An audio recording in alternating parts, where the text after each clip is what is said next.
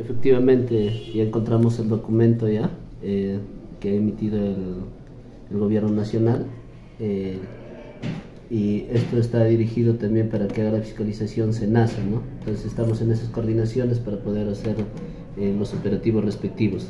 Pero en ese sentido también nosotros, por cuidar la salubridad de, de toda la población, ya tenemos el operativo, el cronograma de los operativos ya eh, por parte de Policía Municipal, por parte de Serenazgo y por parte de Comercialización, eh, para salvaguardar todas estas fiestas navideñas que vienen todo este mes de, diciembre y para lo cual ya en esta semana se ha iniciado con aquellos operativos para salvaguardar la salud de todos los eh, de la provincia de Sánchez Carrión. Hemos visto que en Trujillo y Lima en algunas avícolas han muerto este, también aves. ¿Se va a prohibir quizás en algún momento el consumo de pollo o eh, gallina?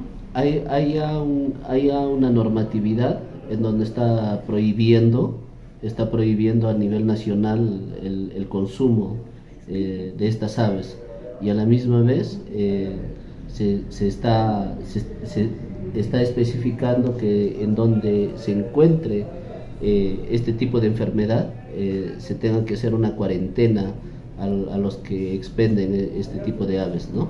Eh, entonces, en tal sentido, nosotros vamos a ser bien vigilantes también de, toda esta situación en coordinación con las diferentes instituciones que, que, que está dentro de su competencia.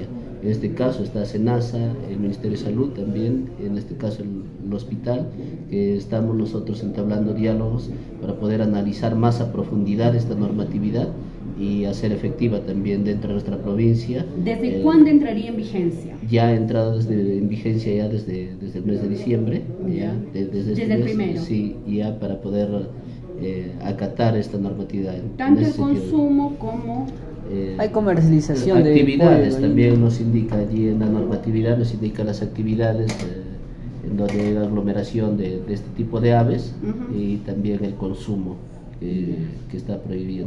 En tal sentido eh, tenemos que analizar a profundidad para poder explicar a la población cuáles son las medidas que se debe tomar también dentro de nuestra provincia.